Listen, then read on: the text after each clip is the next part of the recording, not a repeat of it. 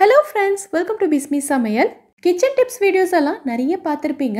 ஒரு விஷயத்த இப்படி செய்யலாம் அப்படி செய்யலாம்னு சொல்லிட்டு நிறைய சொல்லியிருப்பாங்க. ஆனால் அதெல்லாம் ஒர்க் அவுட் ஆகுமான்னு கேட்டிங்கன்னா சந்தேகம்தான். ஸோ அப்படி நான் ட்ரை பண்ணி பார்த்த ஒரு சில விஷயங்களை இந்த வீடியோவில் ஷேர் பண்ணியிருக்கேன். அந்த டிப்ஸ் எல்லாம் ஒர்க் அவுட் ஆச்சா இல்லையா அப்படிங்கிறத வீடியோக்குள்ளே போய் பார்க்கலாம். வீடியோக்குள்ளே போகிறதுக்கு முன்னாடி நம்ம சேனலை நீங்கள் ஃபர்ஸ்ட் டைம் பார்க்குறீங்கன்னா மறக்காமல் சப்ஸ்கிரைப் பண்ணிக்கோங்க. இப்போ நம்ம ஃபர்ஸ்ட் டிப் என்னங்கிறத பார்க்கலாம். நம்ம எப்பயாவது சமையல் செஞ்சுட்டு இருக்கும்போது கொஞ்சம் கவனிக்காமல் விட்டுட்டாலோ அப்படி இல்லைன்னா கிச்சனில் இருந்து அங்கே இங்கே நகர்ந்து போயிட்டாலோ நம்ம சமையல் பார்த்தீங்கன்னா அடிப்பிடிக்க ஆரம்பிச்சிடும் இந்த குக்கரில் நான் வந்து தண்ணியோட அளவு ரொம்ப கம்மியாக வச்சுட்டேன்னு நினைக்கிறேன். ஸோ ஃபுல்லாக அடி பிடிச்சிருச்சு. ஆனால் அடியில் இருக்கக்கூடிய லேயர் மட்டும்தான் ரொம்ப பிடிச்சிருக்கு. மேலே இருக்கிறதெல்லாம் நல்லா தான் இருக்குது ஸோ மீதி இருக்கிற இந்த பீட்ரூட்லேயும் அடி பிடிச்ச ஸ்மெல் கொஞ்சம் கூட வராமல் நல்லா ஃப்ரெஷ்ஷாக இருக்கணும் அப்படின்னா என்ன பண்ணணுங்கிறத பார்க்கலாம் அடி பாத்திரத்தில் ஒட்டாமல் மேலே அப்படியே நல்லா ஃப்ரெஷ்ஷாக இருக்கும் பார்த்தீங்களா அதை மட்டும் நான் வந்து தனியாக எடுத்துக்கிறேன். குக்கரில் ஒட்டிகிட்டு இருக்கிறதெல்லாம் நம்ம எடுக்க வேண்டாம். ஏன்னா அதில் இருந்தும் நமக்கு தீஞ்ச ஸ்மெல் வரும். மேலால் இருக்கிறத மட்டும் நான் அப்படியே எடுத்துட்டேன். ஸோ இதில் வந்து நமக்கு தீஞ்ச ஸ்மெல் வரக்கூடாது அப்படின்னா இதுக்கு நம்ம யூஸ் பண்ண போகிறது பார்த்திங்கன்னா இந்த ப்ரெட்டோட ஸ்லைசஸ் தான். இந்த அளவுக்கு நமக்கு ஒரே ஒரு ப்ரெட் ஸ்லைஸ் மட்டும் போதும். நடுவில் இருக்கக்கூடிய பிரெட் ஸ்லைஸ் யூஸ் பண்ணணுங்கிற அவசியம் கூட இல்லை. ரெண்டு பக்கத்துலேயும் கடைசியில் ஒரே ஒரு பிரெட் ஸ்லைஸ் மட்டும் ஒரு பக்கம் ப்ரௌனாக இருக்கும் தெரியுமா? அதை நம்ம யூஸ் பண்ணிக்கிட்டாலும் போதும். இதை வந்து பீட்ரூட் மேலே வச்சுட்டு அப்படியே ஒரு மூடி போட்டு மூடி வச்சிடணும். இந்த பிரெட் ஸ்லைஸ் வந்து இதில் இருக்கக்கூடிய ஸ்மெல் எல்லாத்தையும் அப்படியே அப்சர்வ் பண்ணிடும். ஒரு அரை மணி நேரத்துக்கு அப்புறமா நீங்கள் திறந்து பார்த்தீங்கன்னா சுத்தமாக அதுலேருந்து தீஞ்ச வாடை எதுவுமே வராது. நம்ம ஃப்ரெஷ்ஷாக சமைச்சா எப்படி இருக்குமோ அதே மாதிரி தான் இருக்கும். சாதம் பொரியல் பருப்பு இந்த மாதிரி எது அடி பிடிச்சாலும் இனி வேஸ்ட்டாக கீழே தூக்கி கொட்டிடாமல் இந்த மாதிரி ட்ரை பண்ணி பாருங்கள் இது உங்களுக்கு யூஸ்ஃபுல்லாக இருந்ததுன்னா வீடியோக்கு ஒரு லைக் கொடுங்க. இப்போ நம்ம அடுத்த டிப் என்னங்கிறத பார்க்கலாம். அடுத்ததாக இந்த அடி பிடிச்ச குக்கரை கொஞ்சம் கூட சிரமப்படாமல் எப்படி க்ளீன் பண்ணுறதுன்னு தான் பார்க்க போகிறோம் ரொம்ப சிரமப்படலாம் வேண்டாம்.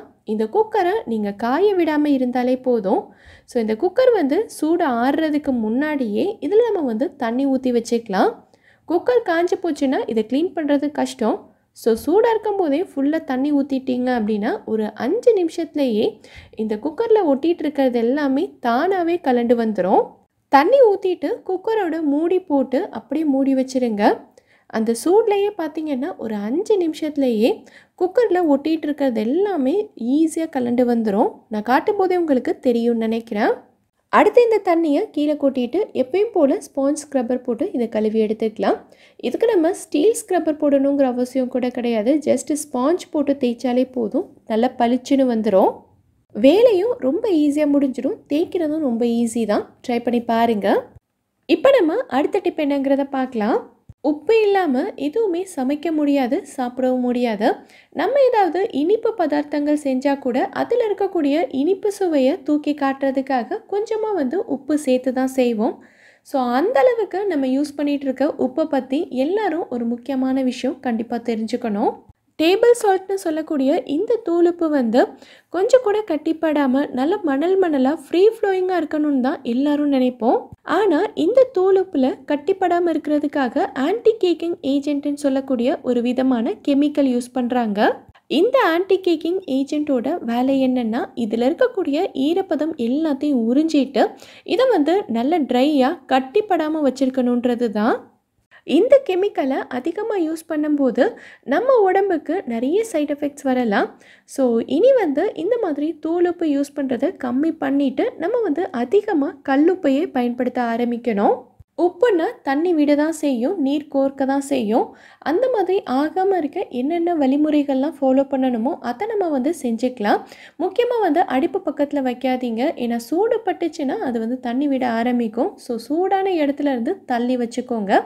அடுத்ததாக பார்த்தீங்கன்னா அந்த உப்பு வச்சுருக்கக்கூடிய ஜாடியோட அடியில் கொஞ்சமாக அரிசி போட்டு வைங்க. அரிசி வந்து அதில் இருக்கக்கூடிய ஈரப்பதம் எல்லாத்தையுமே உறிஞ்சிரும். முக்கியமாக வந்து மர ஸ்பூன் யூஸ் பண்ணுங்கள் அதுவுமே வந்து அதில் இருக்கக்கூடிய ஈரப்பதத்தை உறிஞ்சிரும். இனி வந்து தூளுப்பு யூஸ் பண்ணுறதை கம்மி பண்ணிவிட்டு அதிகமாக கல்லுப்பையை பயன்படுத்திக்கோங்க. இந்த டிப் உங்களுக்கு யூஸ்ஃபுல்லாக இருந்ததுன்னா கண்டிப்பாக எனக்கு கமெண்ட்டில் சொல்லுங்கள் இப்போ நம்ம அடுத்த டிப் என்னங்கிறத பார்க்கலாம். நான் ரீசெண்டாக ஒரு வீடியோவில் பார்த்துருந்தேன்.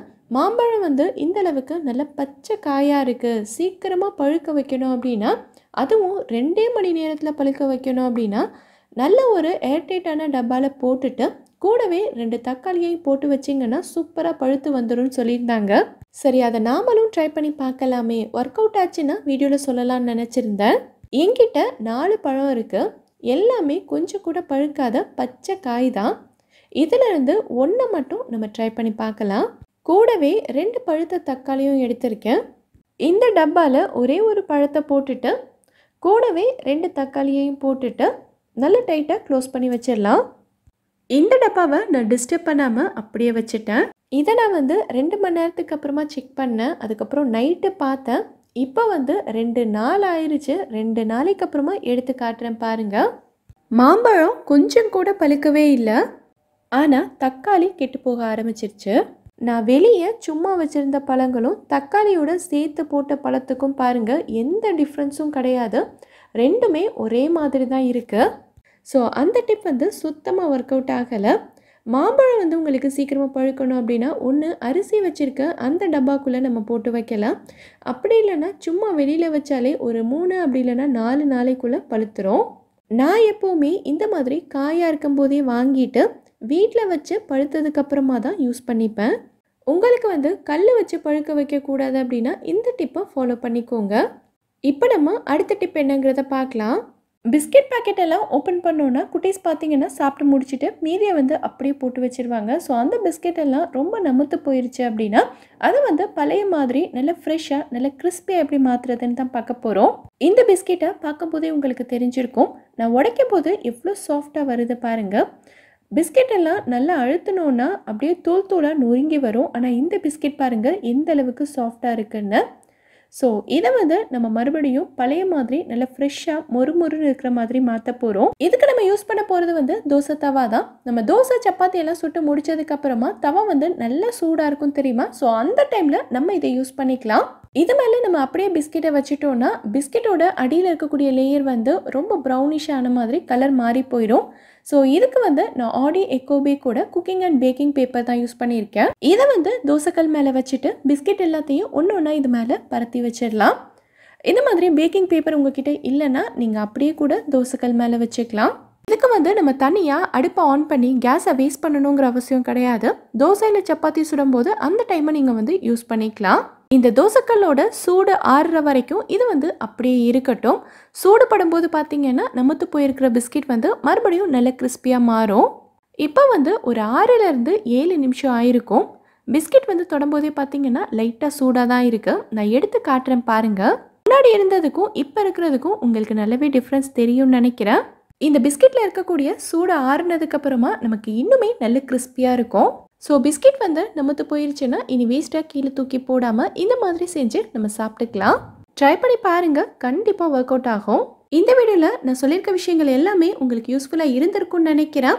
யூஸ்ஃபுல்லாக இருந்ததாங்கிறத எனக்கு கமெண்ட்டில் சொல்லுங்கள் இந்த வீடியோ பிடிச்சிருந்தா லைக் பண்ணுங்கள் உங்கள் ஃப்ரெண்ட்ஸ் உங்கள் ஃபேமிலி மெம்பர்ஸ்க்கு இந்த வீடியோ யூஸ்ஃபுல்லாக இருக்கும்னு நினச்சிங்கன்னா கண்டிப்பாக ஷேர் பண்ணுங்கள் மறக்காமல் நம்ம பிஸ்மி சமையலுக்கு சப்ஸ்கிரைப் பண்ணிவிட்டு பக்கத்தில் இருக்கக்கூடிய பெல்லைக்கானில் ஆப்ஷன் ஆலும் கிளிக் பண்ணுங்கள் தேங்க்யூ